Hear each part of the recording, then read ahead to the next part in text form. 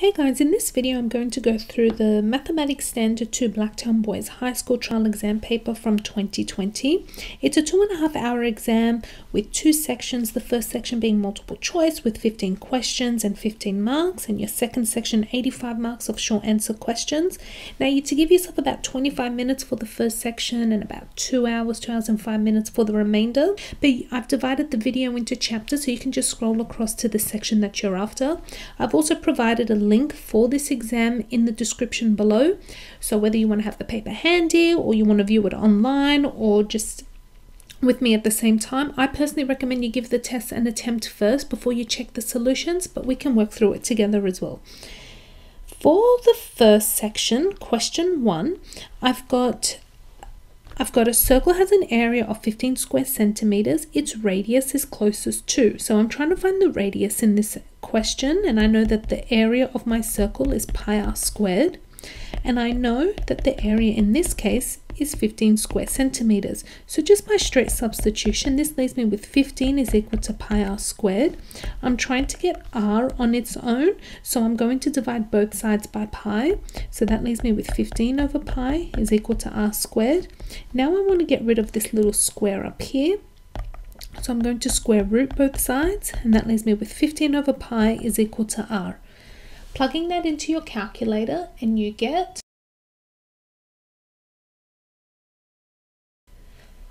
2.1850 and so on and that rounds off to 2.2 so A question 2 Sarah's car uses 8 litres of petrol to travel 100 kilometres, but petrol costs $1.50 per litre. How far can she drive using $30 worth of petrol? Let's first start off with figuring out how many litres of petrol she has in the tank.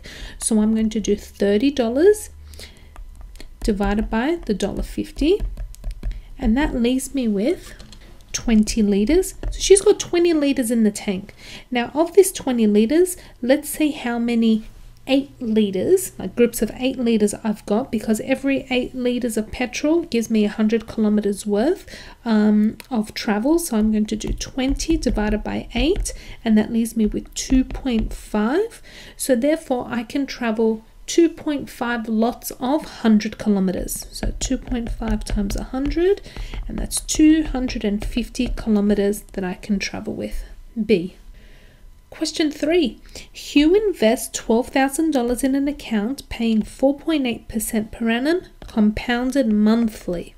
What is the value of the investment after one and a half years? Well, I have to do a couple of things here. First, I have to change this rate here to per month okay? And I need to change the years the number of terms here into months as well. So I know that my rate is 4.8% per annum.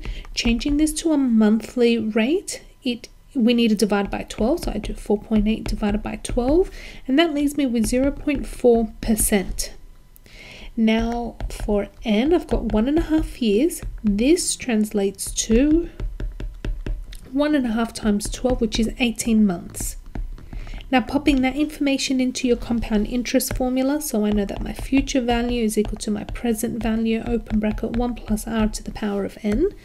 And this is uh, 12,000 times 1 plus 0.4% to the power of 18. Now you can plug this percent straight into your calculator or you can plug this into your calculator, 12,000, open bracket 1 plus 0 0.004 to the power of 18. Let's plug that in and see what we get. $12,894.01, so that rounds up to 12,894 C. Alright, for question 4. John works in a cake shop and based on the sales over two weeks, con he conducted a survey of the five most popular cakes. What type of data is this? Well, automatically, because I'm listing the types of cakes, you know, that are most popular, it's definitely categorical uh, it's definitely categorical data, so I'm going to eliminate C and D because it's not numeric. Now, the difference between your nominal and your ordinal is your ordinal is it can be ordered. So, for example, small, medium, large, um, uh, fit, unfit, very unfit. Uh, fit, unfit, very fit. Okay. So in this case, because I'm rating it by popularity, so you know, it could be from your least favorite to your most favorite. In this case, it is categorical, categorical ordinal data. Question five. The graph below shows the cost of producing boxes of chocolate and the income received from their sales. Use the graph to determine the number of box boxes that need to be sold to break even. Well, this is really straightforward. So here is where I break even. So how many boxes is that? Three boxes. C. Right, for question six, we have a Pareto chart and it shows the order received by a business for five months. Now, just as a recap for a Pareto chart, my bar graphs Okay, so all these bar graphs here, they represent the frequency and then your line graph represents your cumulative percentage over here on the right. So if I want to know what percentage of orders were received in May, okay, well, I'm going to go to May, but I'm not concerned with the bar graph. I'm concerned with the data represented by the line graph. So I go to that point there, I'm going to try and draw a straight line across. Okay, that to me sort of looks like about 68. Okay, so it's 68%. Now, this is where the trick is. This does not mean that 68% of the data lies in May. Remember, because this represents cumulative percentage. So I actually have to subtract the data before, which is different color 50% okay and so then to find the number uh, then so then to find the percentage of order that were received in May I have to do 68 take away 50 and that leaves me with 18% which is D Question 7. A box contains 5 red marbles and 4 blue marbles. Stella selects 2 marbles at random with replacement. So the key here is that it's with replacement. Find the probability that at least one of the marbles that Stella selects is red. Now, okay, so based on my tree diagram, I know I could either select a red marble or a blue and I'm selecting two and then on my second selection I can select a red or a blue and again a red or a blue okay? So this is my first selection and here is my second selection. Now along here I've got a total of nine marbles. So in order if I was selecting a red one at first I have a five in nine chance of picking a red first and then for a blue a four in nine. Now I'm just going to go along this top um, this top branch. So if I've already picked a uh, with replacement oh, okay so I'm putting it all back in. So I will have nine marbles in the basket um, upon second selection and there is a five and nine chance of picking the red again. And over here there'll be a four and nine.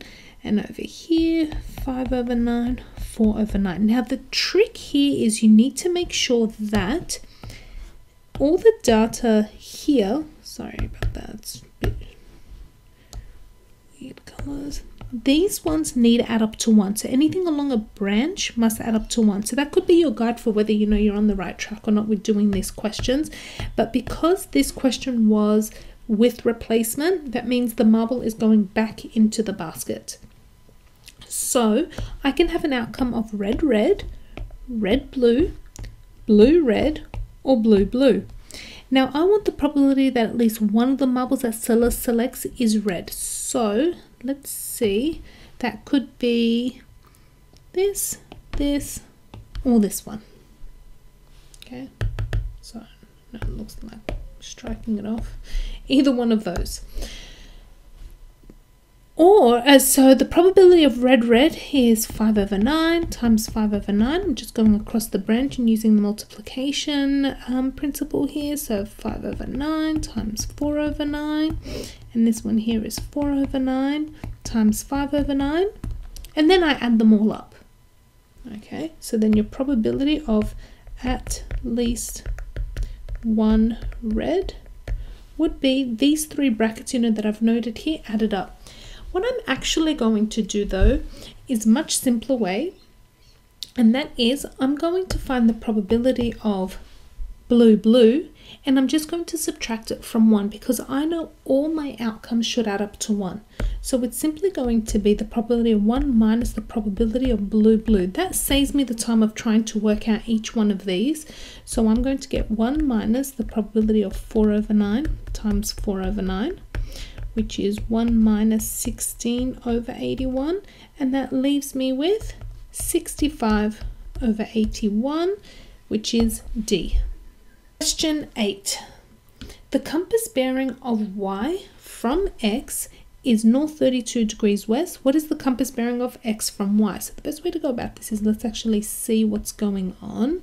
So the compass bearing of y from x, that means x is here, is north 32, so here's y, north 32 degrees west. Okay, what is the compass bearing of x from y? Okay, so now I'm going to draw my compass, my, my north, south, east, west, you know, compass here at y. And now I want to determine what this angle here in the blue is okay. Now from alternate angles I can identify that this one here is also 32 degrees. So to find that angle there in blue I simply need to do 180 take away 32 and that leaves me with oh actually this question is not provide uh, this the answer is not in true bearings form.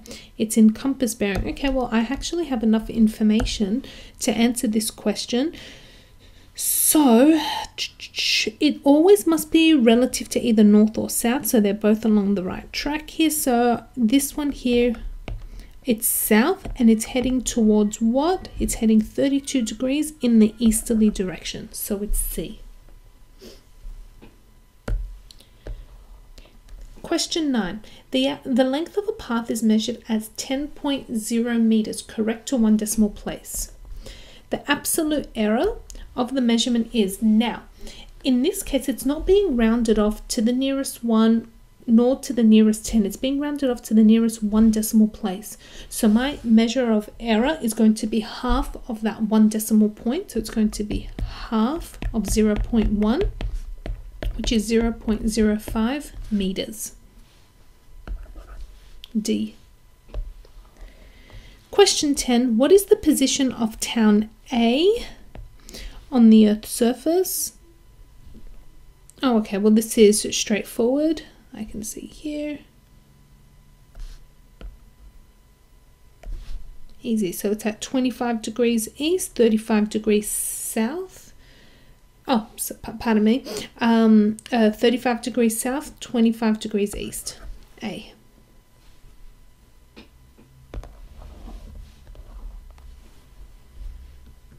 Question 11. Jessica solved the following equation but has made two errors in her working out. Which two steps contain an error from the previous line? What I recommend is actually doing the working out yourself and comparing it to um, when you've got questions like these and then compare it to what they've actually got written out.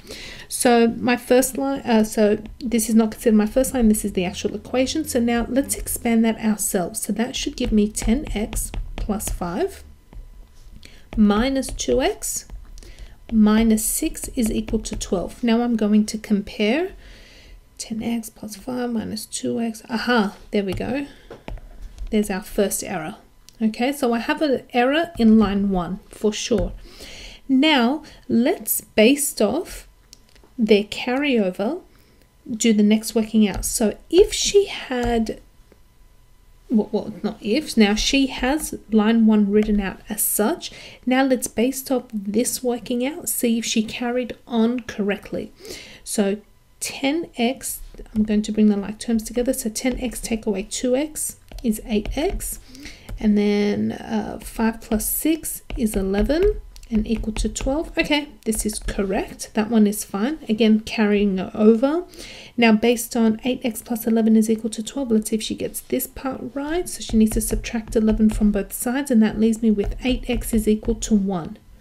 Does that match up? No, it does not. Here she's got 8x is equal to 23. It's meant to be 8x is equal to 1. So line 3 is also incorrect, leaving me with uh, B as the answer. Question 12. The following is the graph of a relationship between two quantities x and y. Which type of function would accurately model this data? Okay, which of the following, uh, the, the following is a graph of a relationship between two quantities, x and y. What type of function would accurately model this data? All right, now, to be honest, just based off the numbers provided here, I can already see what it's going to be and it looks like it's going to be exponential and I'll show you why. If I set this as y is equal to 3 to the power of x, now this is just from, I guess, you know, all the practice and the relationships, you know, that you can tell from numbers after all, um, you, you know, this time doing math. But if you have a look, for this point here, when x is equal to 0, you'll have 3 to the power of 0, so therefore y is equal to 1. That's correct. What about when x is equal to 1? Oops.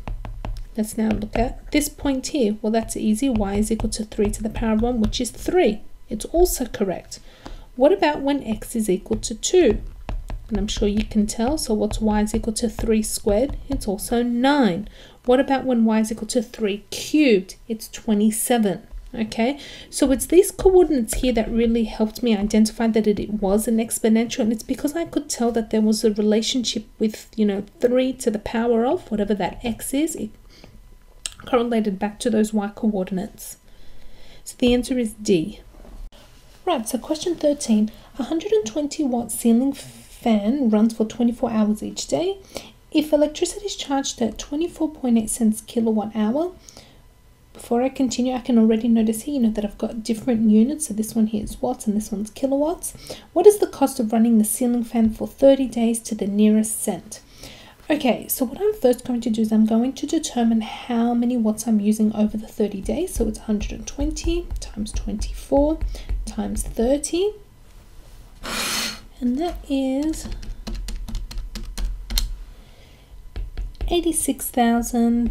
86,400 watts.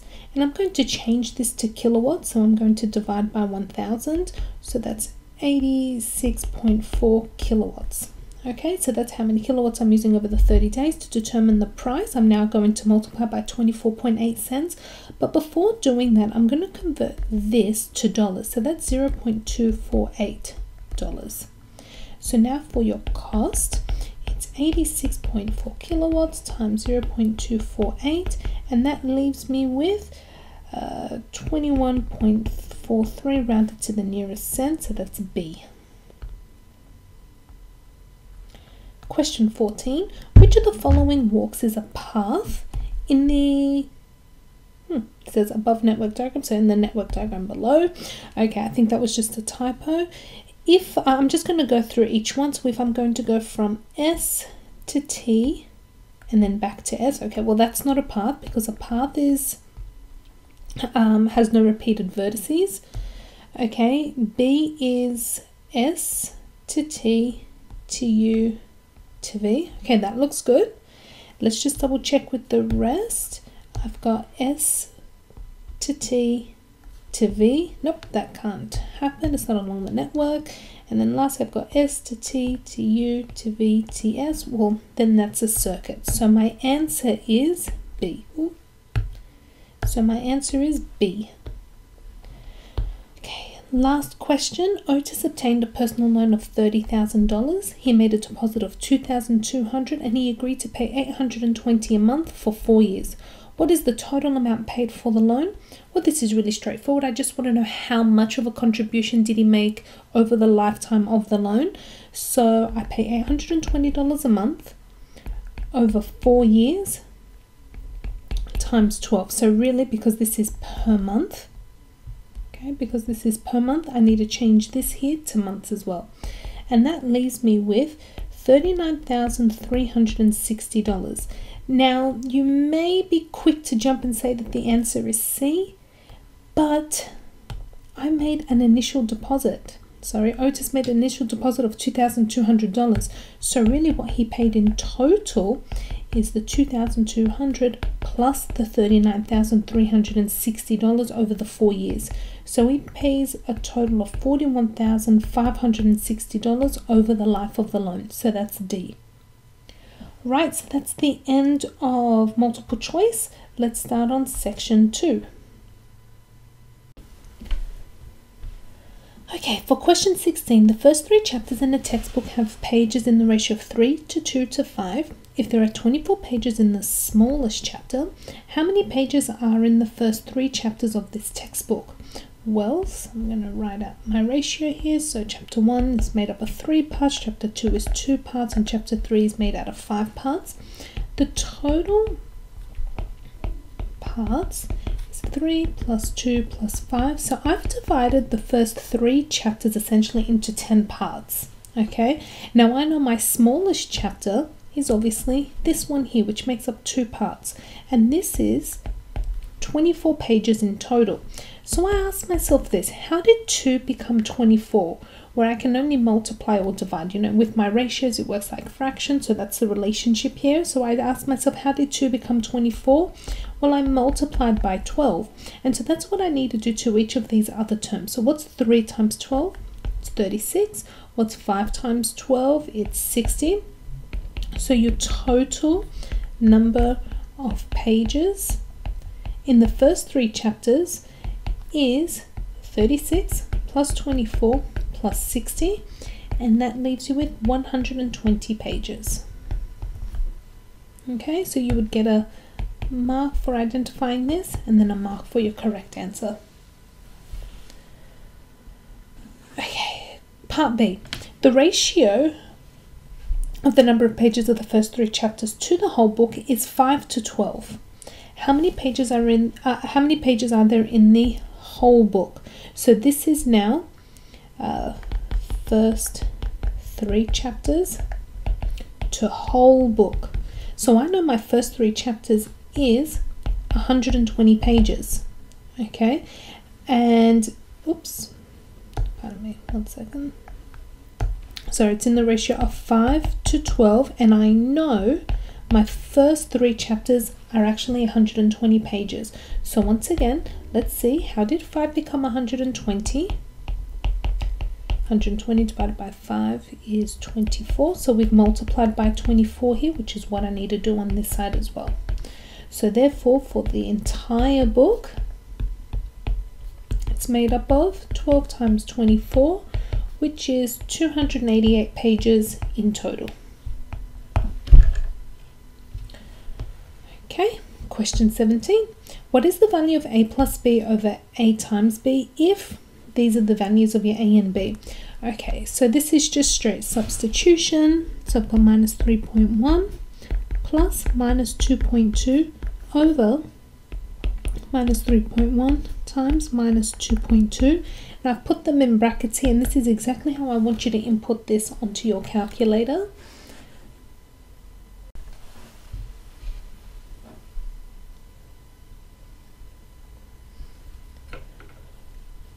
Okay, and that leaves us with minus 0.77712 and so on. But it wants the answer correct to two decimal places so that rounds off to rounds to minus 0.78 okay? For two marks there. Question 18 Jane is flying a kite that is attached to a string of length 80 meters.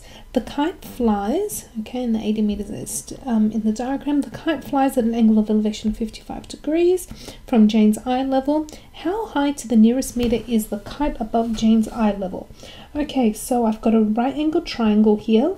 I have an angle that's known and a side that's known, so I can obviously apply the rules of SOHCAHTOA, so my basic trig ratios. Height here is the opposite, over here is the adjacent, and this one here is the hypotenuse. So I have opposite and the hypotenuse. I'm going to use the sine, uh, the sine ratio. So sine 55 is equal to h over 80. I'm going to need to bring that 80 over to the other side so it multiplies. So it's 80 sine 55 is equal to h. So therefore, h is equal to 65.53 and so on but it wants the answer to the nearest meter so that leaves me with 66 meters okay Question 19. The solid shown is made up of a closed cylinder and a hemisphere. What is the total volume? Okay, so I'm just going to write on the side here my formula. So you've got your formula for a hemisphere is half of that of an actual sphere. So it's half of 4 thirds pi r cubed. And your volume of your cylinder is simply cross-sectional area times height, where in this case your cross-sectional area is the circle. Okay, so therefore for your total volume, your volume is simply going to be, I'll start with the hemisphere, half times 4 thirds times pi times uh, r. Okay, so my radius is going to be 9.5 centimeters.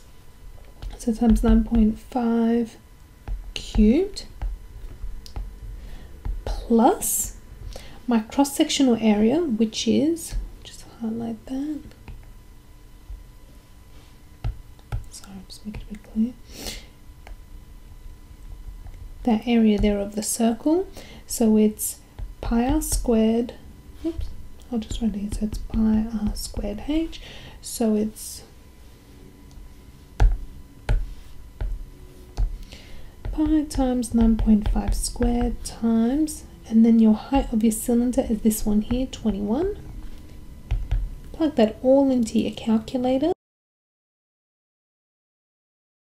You get 7749.785 and so on. But the uh, you can leave it to whatever decimal points in this case you can round up to the nearest whole nearest one nearest two decimal points when a question doesn't specify you can do whatever you want you just have to state what you've done so I'm going to round it to two decimal places, so that's 7,749.79 uh, cubic centimeters. Do not forget the units.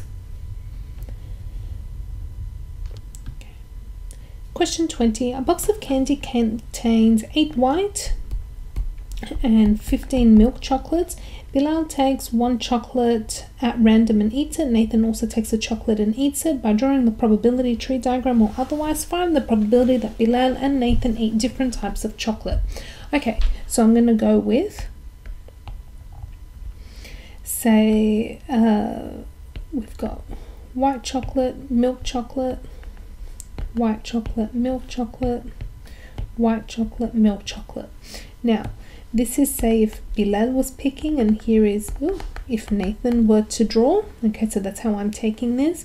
So over here I've got there is a 8 on 23 chance of getting selected, whereas over here it's 15 on 23. Then after having eaten a white chocolate, there is now 7 on 22 in this case, but there are still 15 milks left over, but now only 22 chocolates to select from. Likewise here, if milk was first selected, now there are still 8 whites out of 22 though, and here it's 14 out of 22.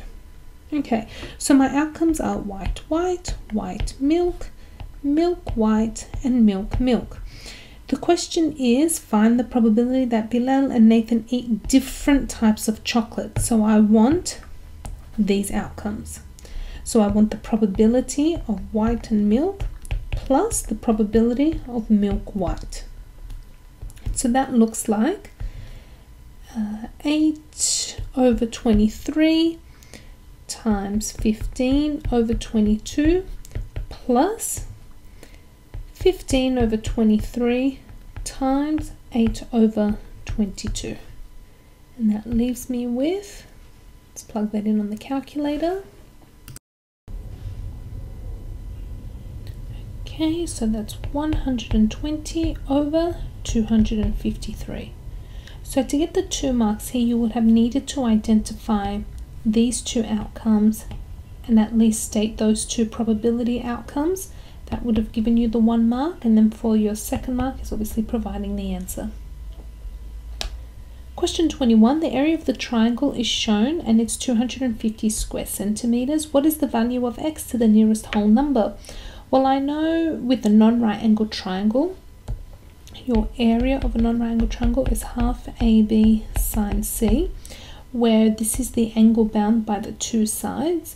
So if I know 44 degrees, therefore I'm going to be using these two sides. Okay, so it's those two sides that are uh, the, the 44 degrees is bound by. And I know in this case area is 250 so subbing in what I know I've got 250 is equal to half times 30 times x times sine 44 let's bring this half over to the other side. So I'm going to divide by half and that leaves me with 500 uh, 500 is equal to 30x sine 44. Now to get x on its own, I'm going to divide this 500 by 30 sine 44. So it's going to be 500 over 30 sine 44. Once again, the 30 and the sine 44 are being multiplied on this side. So over on the other side, it will divide. And that leaves me with x. Plug that into your calculator and you get 23 0.99 and it wants it rounded up to the nearest whole number. So x is 24 centimeters Right, question 22. We've got the network diagram below. It shows the distances between seven villages in a valley. Complete the table to represent the network. This is very easy, two marks to get in the exam. So quite straightforward as well. Obviously, your two, your two vertices don't have a connecting edge so you can see with AA, BB, CC, DD and obviously E, E, F, F and GG there are going to be no edges so no length there. Okay if I say wanted to go from D to E let's have a look here's D and I want to go to E so going across okay so that is 52 if I say wanted to go from F to E. Okay, cool. That's 19. Let me see. I just want to. Oh, what about this one? What about going. What about between F to D? Does that exist? So just rub these ones out. If I'm. Oops, if I am here at F and I want to get to D, is there a connecting edge there? No, there isn't. Okay, so also at this one, I would put a dash fill out the rest very quickly.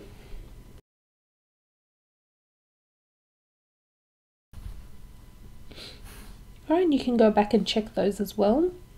Alright, now describe the shortest path between F and D and calculate its distance. So with this, it is going to require you to do um, some trial and error till you actually find the correct path. Now I have the luxury of, you know, using a highlighter and I can rub it out. What I do recommend is in the exam you actually bring in a pen, a colored pen, but the ones that can be erased. So it's really good to see your edges outlined okay? It really helps. But when you are let's say I had drawn this path and then say I had drawn this path on top do you see how it's really difficult to then differentiate between the two? So rubbing them out as you go along either use a pencil but the reason why I do or, or, or a pen but the reason why I do recommend the colored pens is just so it's more popping okay? It's more striking. So let's first start with so I'm going where am I going from again? Between F and D. So here Okay, so if I went down, just do something quite basic there, and we've got, let's plug that in, 32 plus 25 plus 13. So if I go from F to A to B to D, that gives me 70. All right, let's try another one. Obviously going down this path here is way too large is 72 okay I wouldn't say way too large but it's much bigger. Let's say 19 and 52 that's 71 too big. Let's see so I've yet to find one that's a little smaller um all right what about 32 33 and 30 well they're already that's already too big because 33 and 30 are bigger than your 25 and 13 so I'm not going to bother there. What about just making sure I haven't missed anything? Okay, so instead of going up 32, what if I went down 19? Let me do a different color. What if I went down 19 and then instead of going across 52 because that's too big, so I'll choose 21 and then if I did 30, that's quite, that could work, but I can see an even shorter path. Do you see here I've got 16 and 13? Now 16 and 13 together makes 29, which is less than that 30. So let's add that one up. 19 plus 21 plus 16 plus 13. Oh, amazing. 69. Look at that. It was just one off. Okay, and there are just no other outcomes where it's going to be less than that. So your path is F to E to G to B to D, and it's 69. And in this case, does it say what units we're working with? No, so it's just units. Okay. So question 23, the measurements on the house plan below are in millimeters. What is the perimeter of the house of the house plan? Okay, well, this is really straightforward. So I just need to find the length, total length of all of these edges. Now I can add up each one of those uh, edges, you know, the ones that are highlighted, or I can look at it this way. Can you see that this one here, which is 9,000 millimeters, also makes up a total of 9,000 on the other side. As well as, so let's choose another color, say,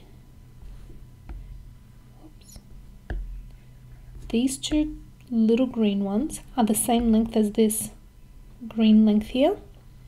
Okay, so that total length here is 7,800 millimeters. Alright, so this one's quite straightforward. To find the perimeter, I'll just need to do 9,000 times 2 plus 7,800 times 2. And you get, plug that in on your calculator, 33,600 millimeters. Okay, part B, what is the area of the bedroom labelled bed in square meters? Now it's asking for square meters, so what I'm going to do is change my dimensions to meters. So if I've got 5,400, oh, first of all, let's identify what the area, uh, what the bed, what area we're after. We're after this area here. And I'm going to break this down into two areas. So I've got area 1 in pink and area 2 in blue. So I'm going to change my dimensions. This is actually uh, 5.4 meters. Okay, and if I want to find this side length here, remember this whole length is 9,000 millimeters. Okay, and I know over here is 4,200 millimeters, so I just need to subtract the two and I get 4,800 millimeters, which is the same as 4.8 meters. Okay, I just find it so much easier to just convert it to the to the units that we're after straight away. And then for my second area in pink, let's find out what the dimensions are. So looking here, I know this length here is 4,200 millimeters, and then this length here is 4,000 millimeters. So now I've got 200 millimeters here, which is the same as 0.2 meters. Okay, and this length here is 2,400, so it's uh, 2.4 meters. So this is straightforward. Your total area, so I'll start with area 1. Area 1 is 2.4 by 0 0.2, which is 0 0.48. Area 2, mind you, you could have written this out just in the one step. It's 5.4 by 4.8.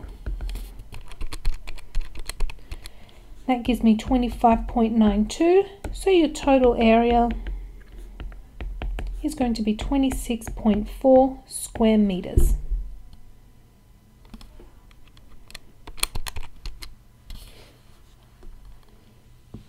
Okay, now the reason why this one here is worth three marks is because we needed to identify first the composite shape. So we needed to break this up into my two areas.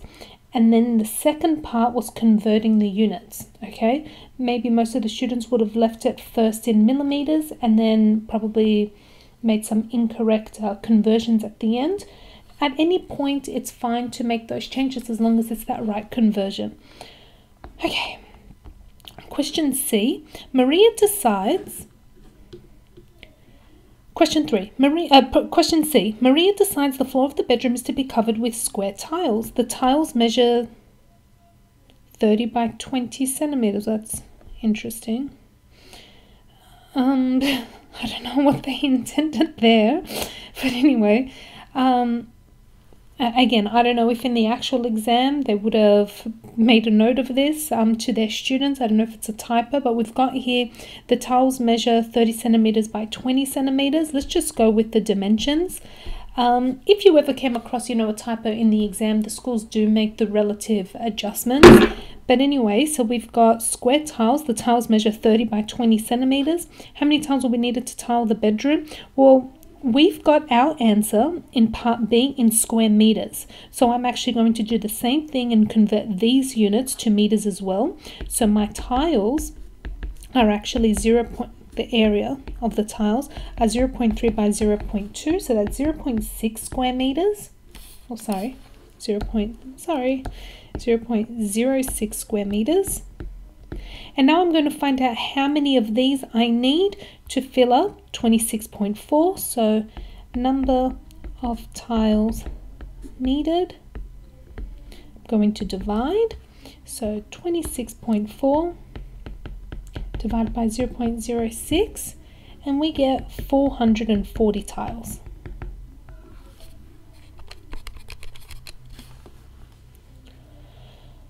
Question 24. Samuel owns a credit card that has no annual fees and charges a flat rate. So, flat rate, this relates to simple interest, of 18.25% per annum on all purchases. Find the interest charge on $1,800 for 15 days. Answer correct to the nearest cent. Well, I can already see that here I'm dealing with days, but this right here is per annum. So what I'll first do is, is change this rate, so my R, which is 18.25%, is change it to a daily rate. So this is 18.25 over 365%. So if I wanted to find, what's it asking, find the interest, so my interest is simply going to be 1,800 times my rate, so 18.25 over 365% times 15 days. Okay, and we get 13.5, so in dollars, that's $13.50.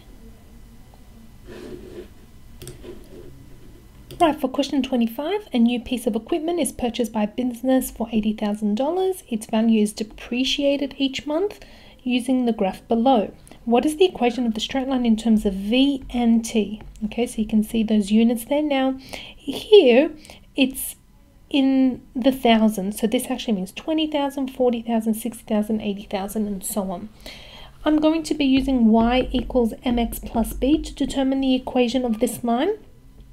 And because it is depreciating, and you can see here it's negatively sloped, okay, um, we're just going to have to remember to put in that negative there for my gradient.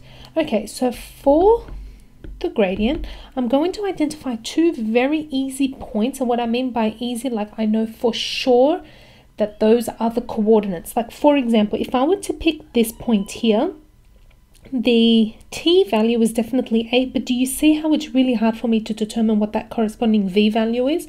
So I would not pick this point. Sorry. What I would do is, is use those two, okay, to determine the rise over the run.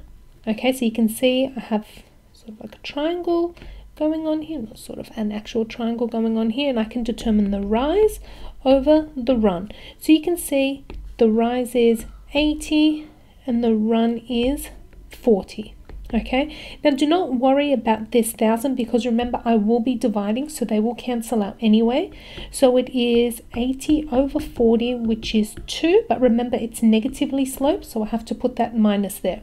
I'm not saying 80 divided by 40 is negative 2 that's just something I put in extra to determine the type of slope it is.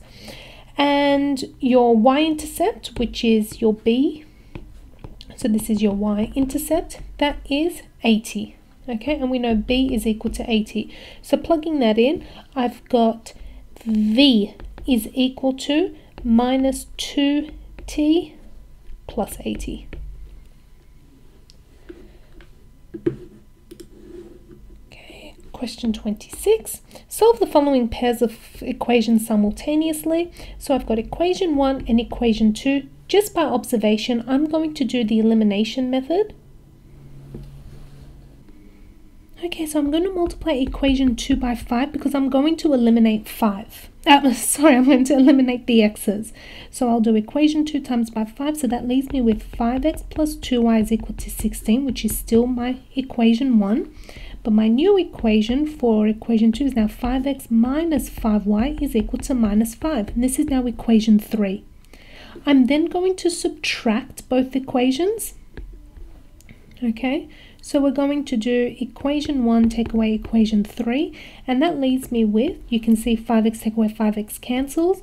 Now I've got 2y minus minus 5y, so that's the same as 2y plus 5y, so 7y is equal to 16 minus minus 5y, which is 21. So now I've got y is equal to 3. I'm just going to pop that in a box to make it clear to the marker what my answer is and then I'm just going to sub into any of the equations. I'm just going to sub into equation 2. It doesn't matter which one I sub into, 1, 2 or 3, but 2 looks the neatest. So now I'm going to sub y equals 3 into equation 2 and that leaves me with x minus 3 is equal to minus 1 plus 3 on both sides so x is equal to 2. Question 27. Benny takes out a loan of $58,000 borrowed at 6% per annum, compounding monthly, and makes regular payments of $810 a month. Show that the recurrence relation to model the situation is as follows. So, what this means, my V of n plus 1, so this is relating to the amount owing after interest and a repayment has been made. So really all you need to do in this case is simply show how they get the 0.005. Now I know my rate is 6% per annum and you can see in previous examples I do leave them as a fraction because I know I'm just going to plug it in straight away onto a calculator. But let's convert this um, into monthly and then into decimals. So as a monthly rate it's 6 over 12% plug that in on your calculator and you get 0.005 okay so that's taking in the percentage as well. So now we're just going to plug that in.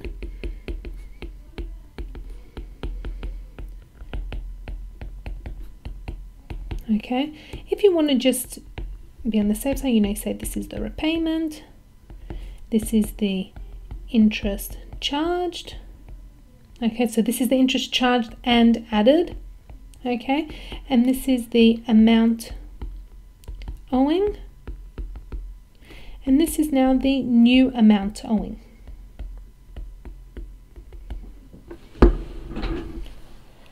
Right, for question B, what is the balance of the loan after he has made two payments? Give your answer to the nearest cent.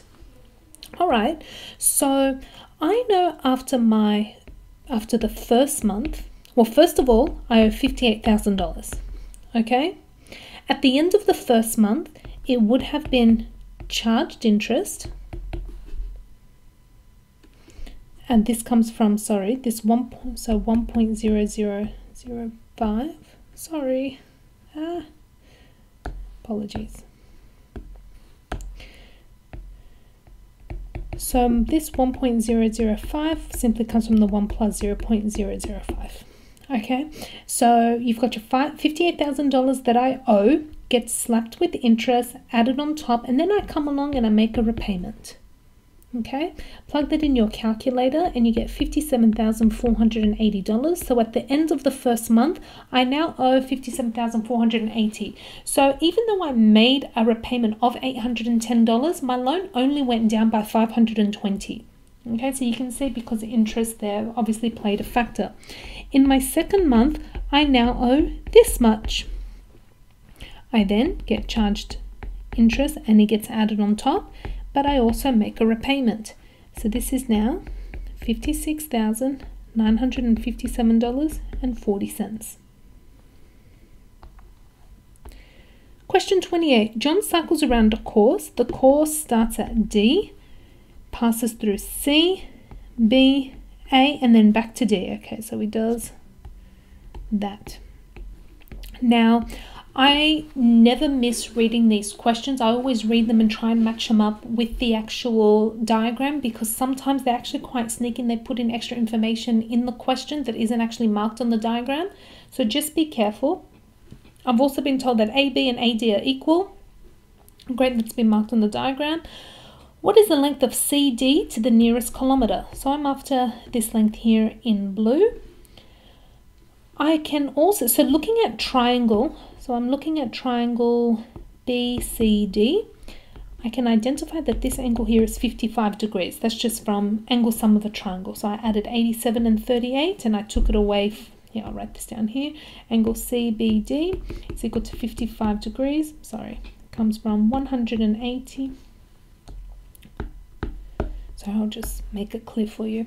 Angle CBD is equal to 180 minus 38 plus 87. Okay, and you get 55 degrees. So now in I'm looking at triangle BCD. In that triangle, I'm going to use the sine rule. Okay, I have a known pair, which is those two, and then CD, the opposite angle to CD is 55. So this is quite straightforward. It's just going to be CD over sine 55 is equal to 50 over sine 87. Bring this sine 55 up to here, so it multiplies. That leaves me with CD is equal to 50 sine 55. Remember on the left hand side, so on this side it's being divided by, so on this side it will, on the other side it will times, divided by sine 87.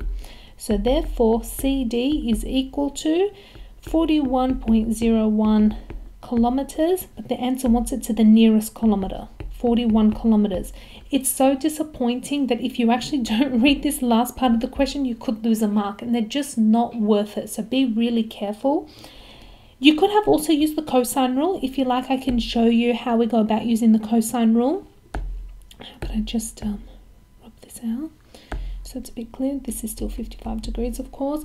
Okay so again I'm still finding this side so if you had used the cosine rule that CD squared is equal to 30 squared plus uh, 50 squared as you can see 55 is the angle bound between 30 and 50 minus 2 times 30 times 50 ah cos 55 okay plug that all in on your calculator then find the square root and you would get get the same answer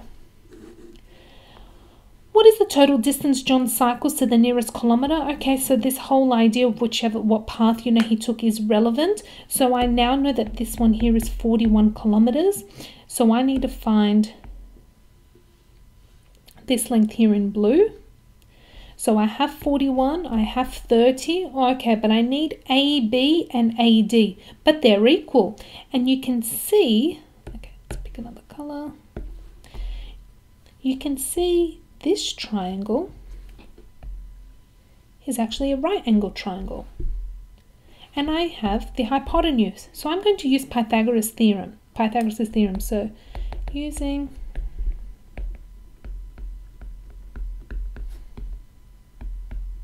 Okay, I'm going to label them x. So if one of them is x, so is the other.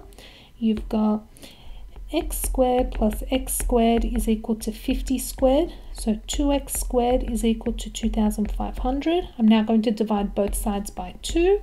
x squared is equal to 1250.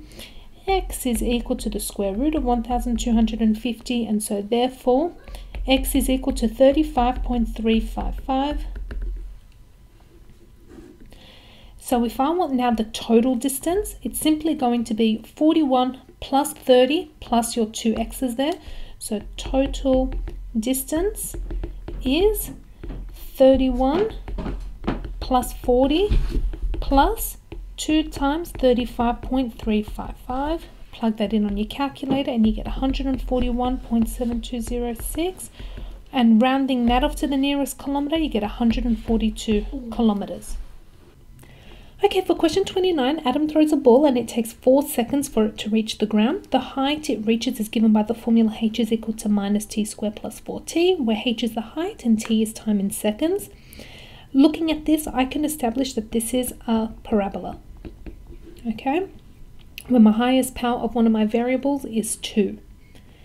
Okay, part A is complete the following table of values. This is really straightforward. I'm just doing straight substitution. So I'm just going to fill out those values really quickly. And if you want, how about I show you an example just so you know how I went about it. So for example, when t is equal to 2, and you will just plug this straight onto your calculator, you get h is equal to minus 2 squared plus 4 times 2, which is minus 4 plus 8, which is 4. Okay, then it's asking to draw this graph. Okay, so I'm just going to plot in my values. So I've got at 0, 0, have at 1, 3, 2, 4, 3, 3, and at 4, 0. Can you see the shape that it's going to turn into?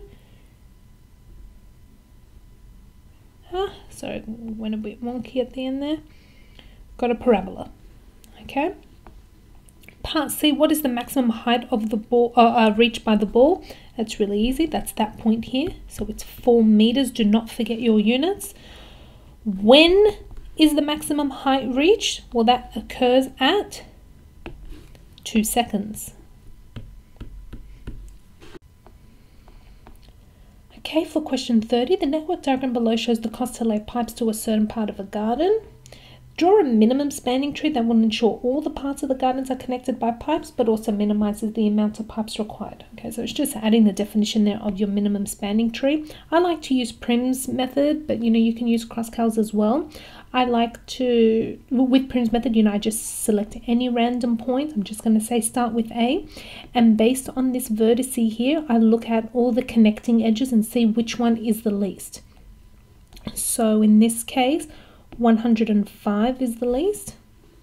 Now I have A and B as my vertices to look at and I need to determine between A and B the edges that come out of those vertices which one is the least and it is 121.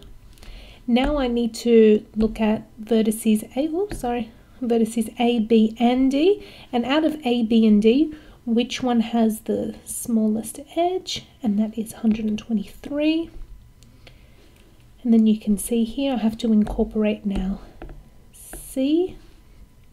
Let's see which one is the smallest edge coming out. That's 103 and 113 okay and you can see now every single one of my vertices okay has been connected and now you just need to draw it Okay, so just have a look at that there.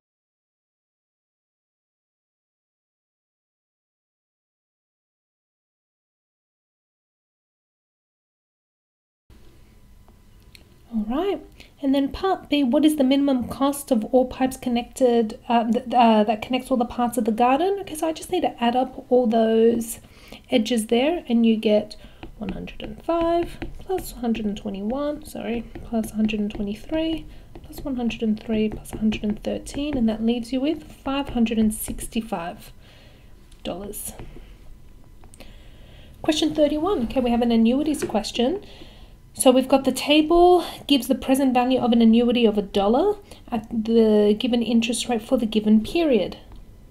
Right. Jesse plans to invest $7,500 every year for eight years. Okay, so I'm now going to take these amounts, uh, so these terms as years. Okay.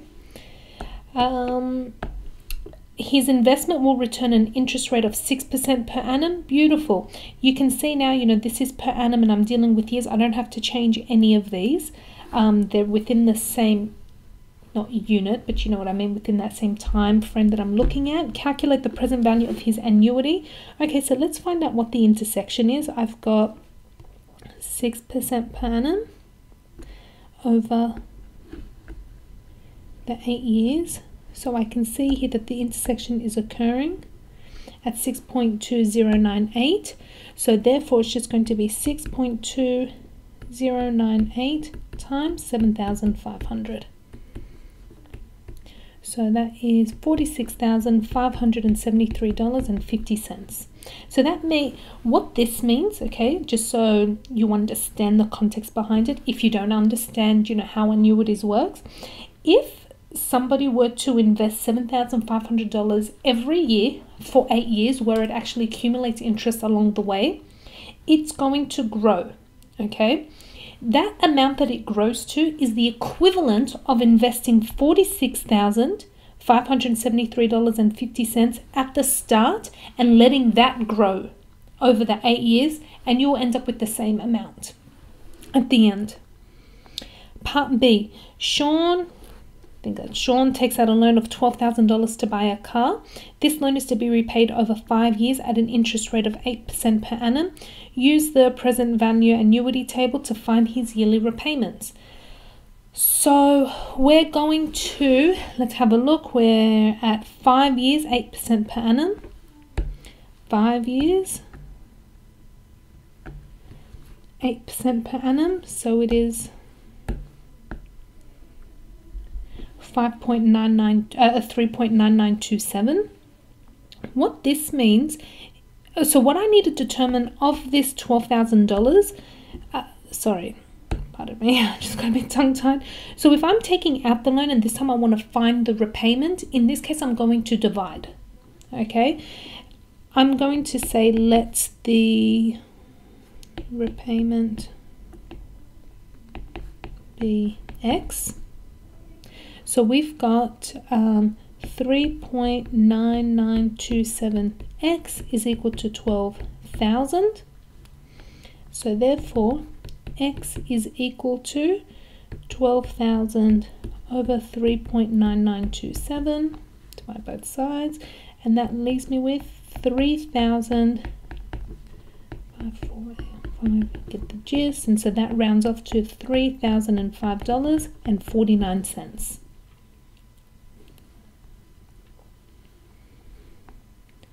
32. A biologist assumes that there is a linear relationship between the amount of fertilizer supplied to tomato plants and the subsequent yield of tomatoes obtained. Eight tomato plants of the same variety were selected at random and treated weekly with a solution in which X grams of fertilizer was dissolved in a fixed quantity of water. The yield in Y kilograms of tomato was recorded. Okay. All right, so we've got that data here. It's asking for part A.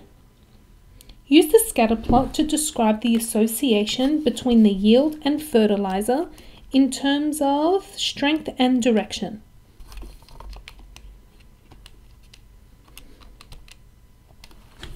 Okay, so obviously I'm going to use that here Okay, you know, we've got R is equal to 0 0.94535. So if I wanted to find out what Pearson's correlation is, I will just find the square root of that. And that is 0 0.9722. I mean, even just by observation, you can tell it is a strong, um, a strong relationship, but this further confirms it. Okay, so it's definitely strong. And is it positive or negative? Well, it's positively sloped. Okay, this way is positive this way is negative. It's increasing.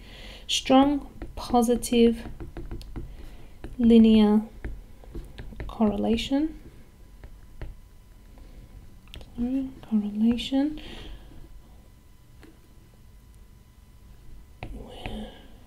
The more fertilizer fertilizer provided increases the yield. Okay. Excuse my handwriting. increases the yield. Part B. Determine the equation of the least squares regression line for this data. Round your value to two significant figures. Okay, let's plug this all in. Okay, now before we put in any type of data, we always have to clear our calculator. So we need to do Shift 9 to clear it. Press number 3 equals okay and clear all of that. So I'm going to go to mode uh, stat and then number two. Okay, I'm going to plug in all that data. So I've got one, one, one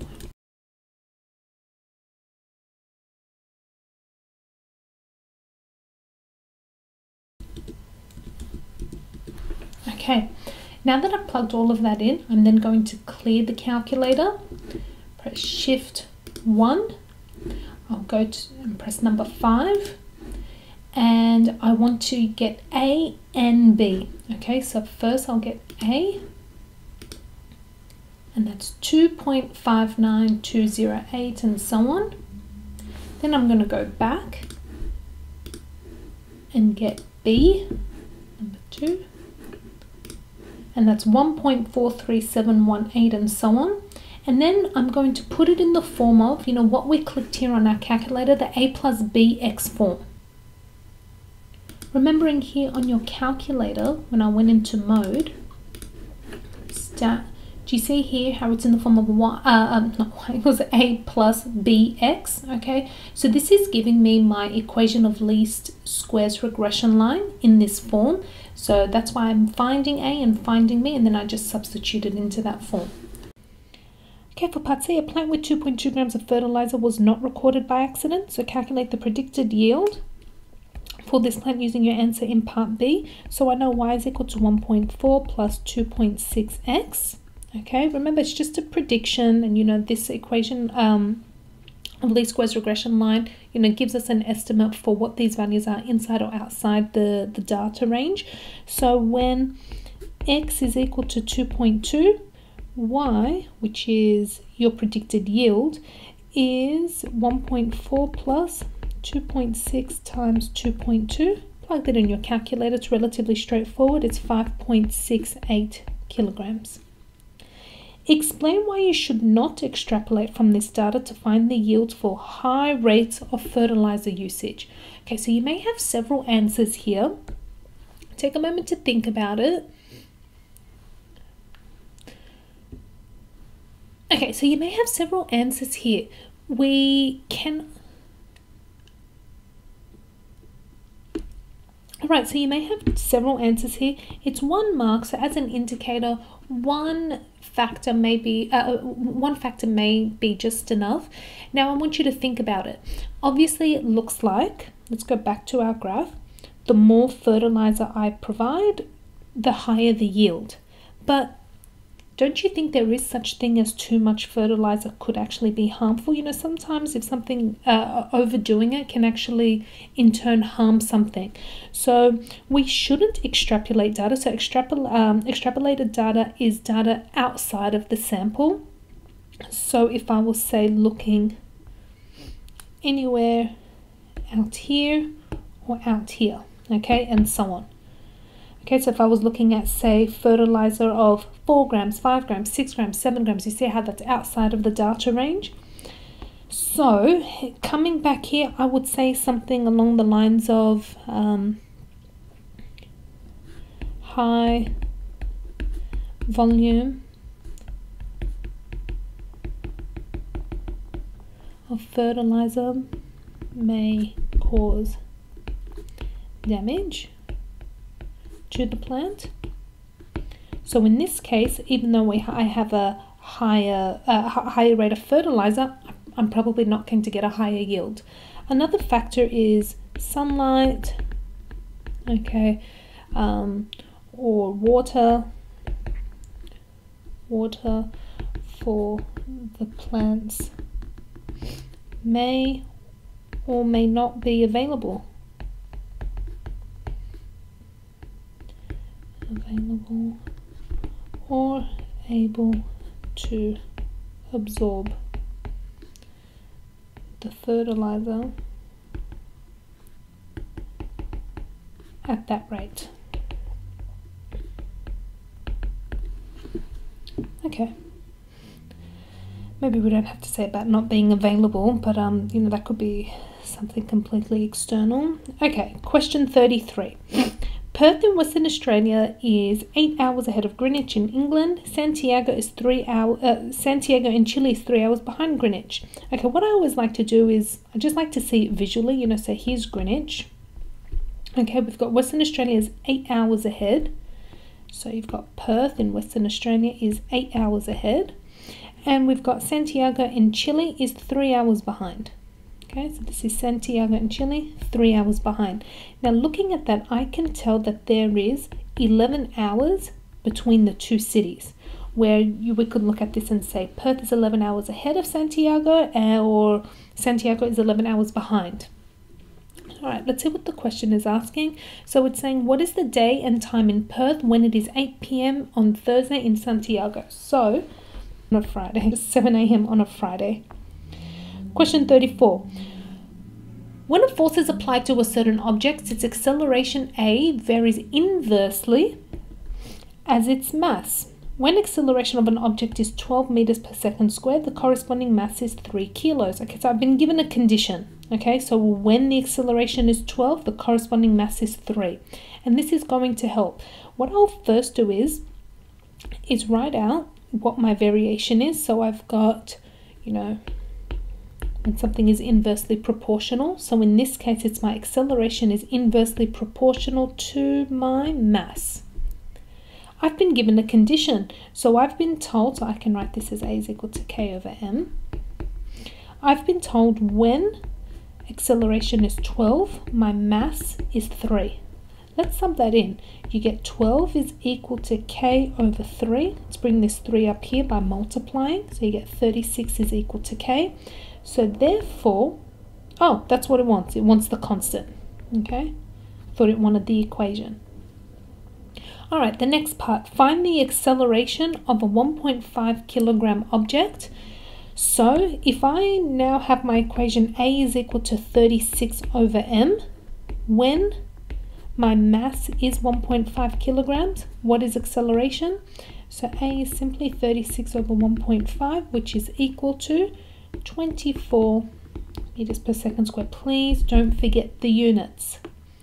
Find the mass of an object when acceleration is 6 meters per second squared. So once again, I have my equation of acceleration.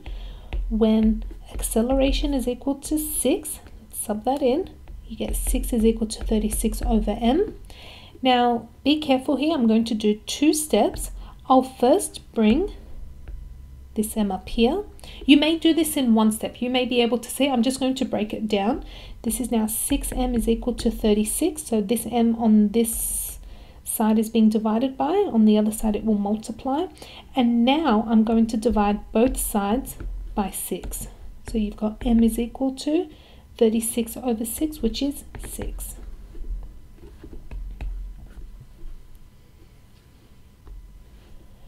Okay, question 35.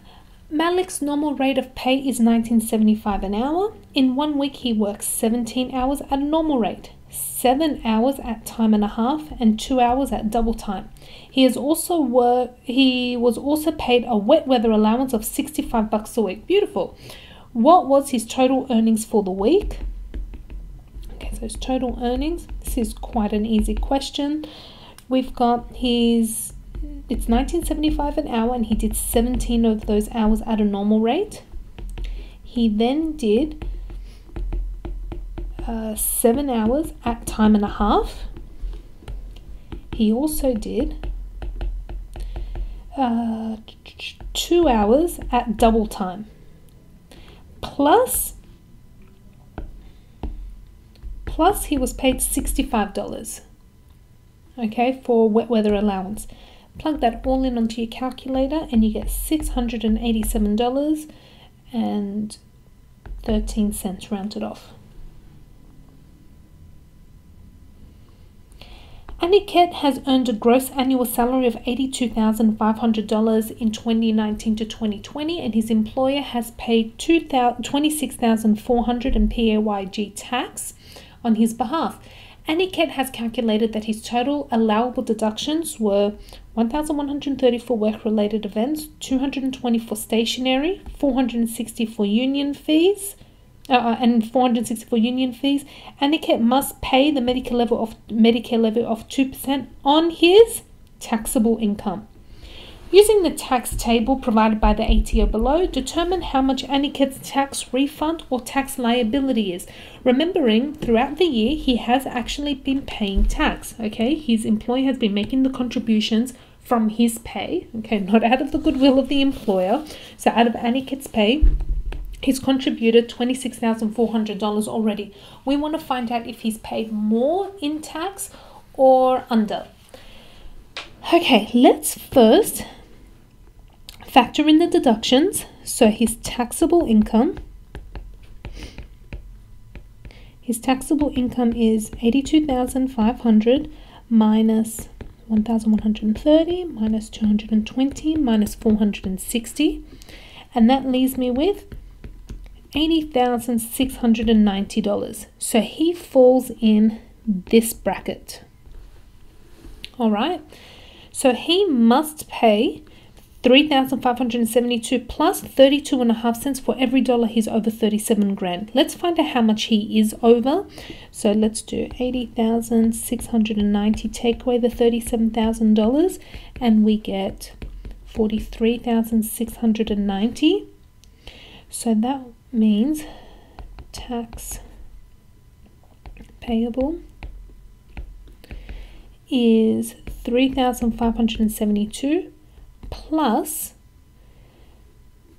um, 32 oops sorry about that 2.5 cents of the 43,690 plug that into your calculator and you get he must pay $17,771 in tax.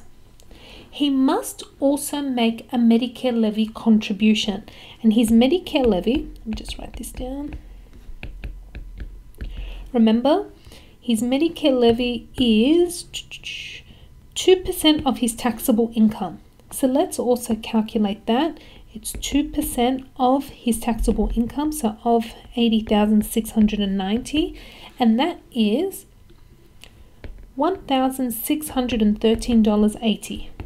So that means total tax that he should pay in the entire year is 17,771.25 plus his Medicare levy, which is $19,385.05.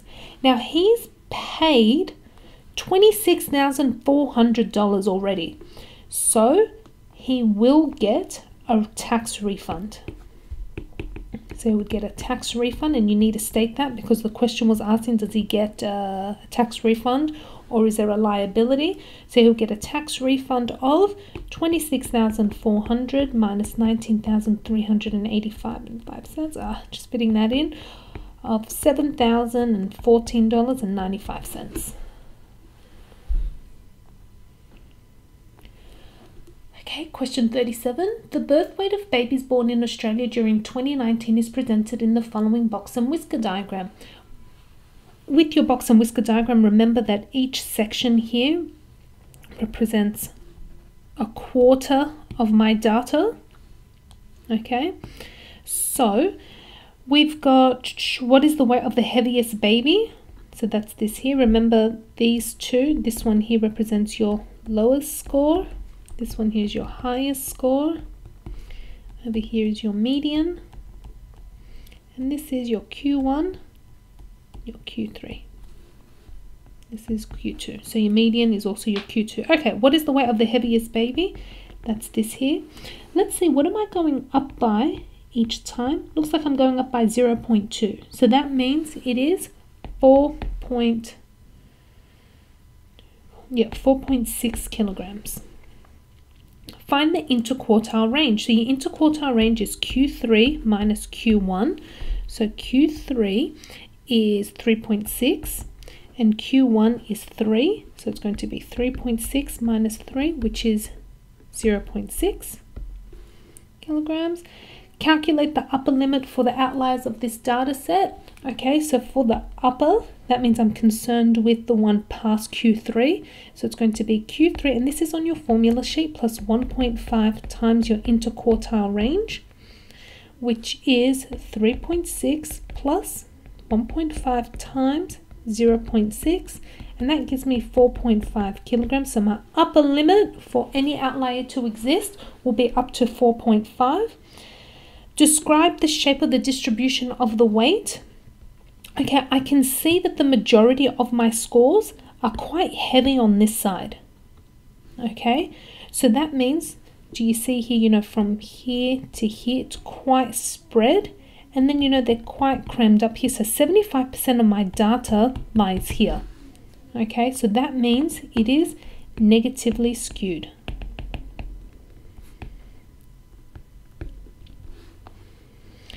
If your data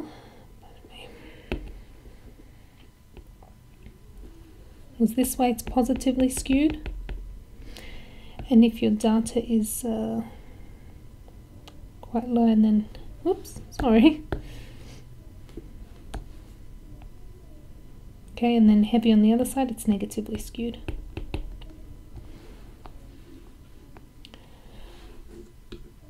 Alright, question 38. Janet has three bottles of beer over two and a half hours.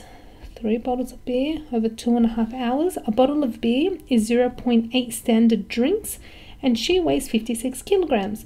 The formula to calculate her blood alcohol content is given by this. Okay, N is the number of standard drinks consumed, H is the number of hours um, of drinking, and M is the person's mass in kilograms. Calculate Janet's blood alcohol content after two and a half hours. So, pardon me. So your blood alcohol content is simply going to be 10 times, what does N stand for again? The number of standard drinks. And she had 3 times 0.8 standard drinks because each standard drink was 0.8 and she had 3 of those. Minus 7.5 times H, where H is the number of hours she'd been drinking for, which is 2.5 hours, divided by 5.5 times her mass, which is 56 kilograms straight onto the calculator and you get 0.017. If Janet has no more alcohol, determine how much longer she must wait until her blood alcohol content returns to zero. Okay, so putting in that same data, but we're trying to figure out now what H is. Where uh, we're trying to determine what H is, and now my blood alcohol content is going to be zero. So she still drank it's based off of this example that she still drank three bottles of beer with a standard uh, 0.8 standard drink size. So now I'm going to have 0 is equal to, once again, 10 times 3 times 0.8 minus 7.5 H all over 5.5 times 56. Simplifying this, you get 24 minus 7.5 H over 5.5 times 56 and that's equal to 0. If I were to bring this denominator, which is being divided by on this side, onto this side, it multiplies, it would go to 0 because 0 times anything is 0. So now I'm left with 0 is equal to 24 minus 7.5 h. I'm now going to bring this over to this side. So on this, on the right hand side, it's subtracting. On the other side, it would add. So now I've got 7.5h is equal to 24. Divide both sides by 7.5 and you get h is equal to 3.2. So she must wait a total of 3.2 hours until she is at zero blood alcohol content level. Right, for question 39, the diagram shows the result of a compass radial survey of a triangular area of land. Okay, in a radial survey, remember these angles here are always relative to north. Okay, it says find the angle of BOC. So angle BOC is BOC. So it wants this angle here, which is straightforward. Um, quite simply, it's just BOC is just 171 minus 78 degrees, which is 93 degrees. Okay, just as a little explanation, oops, as a little explanation if needed, I know that from here to here is 78 degrees and from here to here is 171. That's what the radial survey um, that that's what these angles on the radial survey describe. So therefore if you wanted to find say this angle here in green that's why I did 171 take away 78 part B find the length of BC to the nearest meter. BC okay. Oh that's really straightforward. I'm going to use the cosine rule because I now have the angle and two sides bound by that angle and so it's going to be BC squared is equal to 32 squared plus 43 squared minus 2 times 32 times 43 cos 71. Plug that in onto your calculator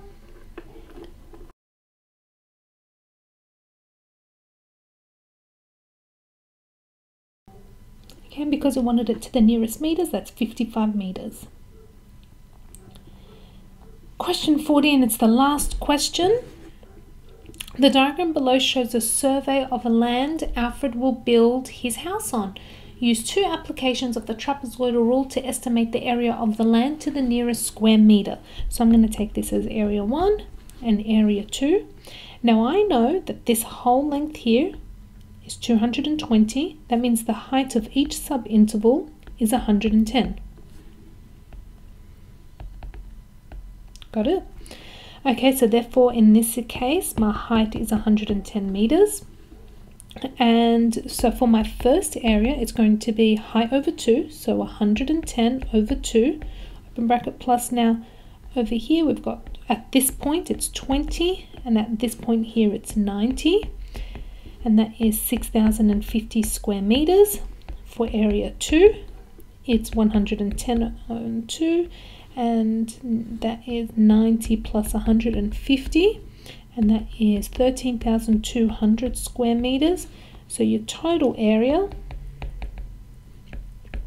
is simply 6,050 plus 13,200 which is a total of 19,250 square meters. All right for the Alright, for the next part, Alfred plans on grading the land so that it serves as a main catchment area for a pond at its lowest elevation. To maintain the water level in the pond, it is estimated that at least 10 megaliters of rain must flow into the pond each year. If 45% of that rain falls on the land, sorry, if 45% of the rain that falls on the land flows into the pond, calculate the amount of rainfall in millimeters must fall on the land each year to maintain the water level in the pond round to the nearest 10 millimeters. So if I've got, so I'm just having another read, if I've got 10 megaliters, so my volume here is my 10 megaliters, so my 10 million liters, this is the same as 10 thousand cubic meters okay? Where one cubic meter is a thousand liters okay? That's